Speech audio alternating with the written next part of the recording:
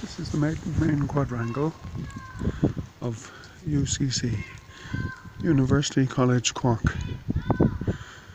And while it's nice and sunny here, the breeze is cold. And this is the old college, okay? This is the base of the old college. Here we are now.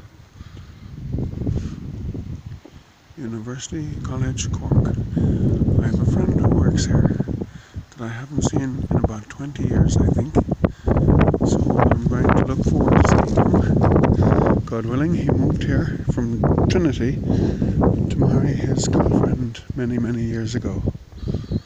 So, University College Cork, the old campus, the old quad. These are all the more modern areas afterwards.